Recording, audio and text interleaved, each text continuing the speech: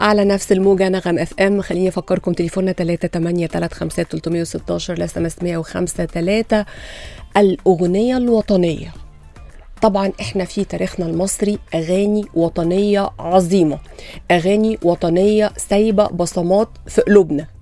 يعني أغاني وطنية يعني صعب إن إحنا نقارن بيها أي أغاني وطنية فاللي داخل ده يعمل أغنية وطنية لو ما كانش عاملها بجد معجونة بم- بمية الناس بمية الشعب بالدي إن إيه بالحمض النووي بتاعهم بأفكارهم بإحساسهم بكل نقطة دم فيهم فالأغنية الوطنية دي هتفشل فشل ذريع. آه، فشيء صعب جدا على فكرة إنك تكتب أغنية وطنية للشعب المصري. مش ده, ده, ده حاجة صعبة جدا. فلما يكون عندك شاعر يكتب خمسين أغنية وطنية ويمكن أكتر ويكتبها لكبار ال- المطربين بتوعنا و و وينجح. فدي حاجة صعبة جدا. مشكلة بقى تانية كمان الأغاني بتاعت بقى ال- المناسبات الوطنية. آه صعبة جدا. يعني في أغاني اتكتبت في مناسبات وطنية ماتت من لحظة ميلادها على طول. ولكن في أغاني اتعملت لمناسبات وطنية وعاشت لدرجة إنه فضلنا نحب نسمعها تاني وتالت ورابع ونجحت نجاح مدوي وخلاص ما بقتش حتى مرتبطة بهذه المناسبة اللي اتعملت عشانها وفضلت تنجح وتنجح وتنجح.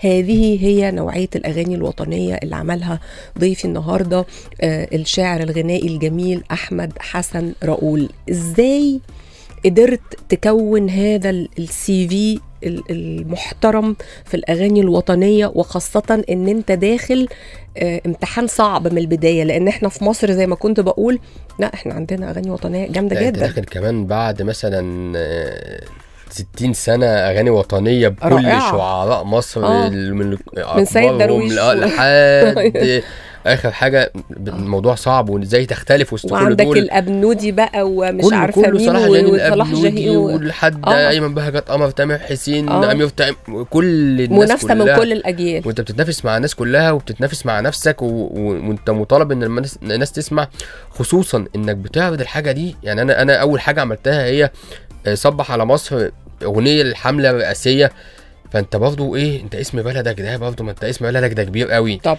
وانت هتبقى صورة لاسم بلدك. انت بتكتب اغنية حاجة لبلدك. مم. فبتبقى مركز قوي. وتقعد تشتغل وتقعد تكتب و... و... والموضوع حتى بدأ بالصدفه طبعا لما اتعرفت على عمرو مصطفى. أه بحييه طبعا يعني طبعا ملحن جميل جدا ووطني آه برضه هو جداً. آه.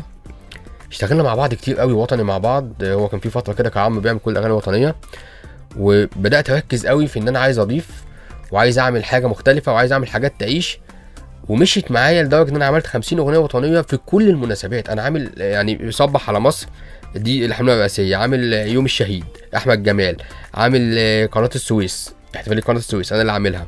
عامل منتدى شباب العالم. عامل مؤتمر الرقابه الإدارية. عامل آه، 6 أكتوبر. عامل آه، تحرير سينا. عامل كل كل الاغاني غ- وغنى لي معظم النجوم. يعني أنا غنى لي مدحت صالح غنى لي محمد فؤاد غنى لي آه، ده في الوطني بس أنا غنى لي براهم حاجات كتير. طب. آه، آه، عاصي الحلاني نوال الزغبي من الوطن العربي كله. كمان أنت بتكتب أغنية لم- لمصر بيغنيها حد من الوطن العربي ده برضه مهم جدا. مم. اللي ساعدني على ده حاجة مهمة جدا إن أنا ما كنتش عايش في مصر. كنت أنا أصلا كنت؟ عايش في السعودية. آه. طول حياتي. مم. فنزلت مصر فأنا برضه شايف مصر بمنظور غير اللي عايش فيها طول عمره. دايما المغترب عنده حنين مختلف. بالظبط بي بي بيتذوق مصر بالذات يعني مش أي مغترب. طبعا. إحنا المصريين آه، آه، مصر بتبقى عايشة فينا وإحنا عايشين بره مصر. وبيبقى عندك حالة غريبة كده. إنك أنت دايما راجع أنت آه، مش أنا- مستقر أنا, أنا هناك. مش أنا مش مهاجر. آه. لا أنا راجع. وبتقعد آه، بتكون ثقافة كمان أنت البلد الوحيدة اللي الناس كلها بتتكلم عنها. يعني أنا مثلا السعودية لأن هي لما ناس كتير قوي فالفصل بتاعي مثلا بيبقى فيه مصري وسوداني وتونسي تونسي وكذا كذا كذا. البلد الوحيدة اللي ممكن تتناقش فيها وتتكلم فيها حتى لو بتتكلم عن الاهلي والزمالك حتى لو بتتكلم عن هي مصر. فأنت كمان آراء الناس اللي حواليك بتخليك أنت كمان عايز تبين لهم مصر إزاي. إيه ده إحنا واصل لكم لحد هنا؟ ده لما أكتب أغنية تتسمع هنا فأنا لازم آخد بالي قوي بقى. أنا لازم أركز إزاي هوصل شكل مصر بشكل إزاي.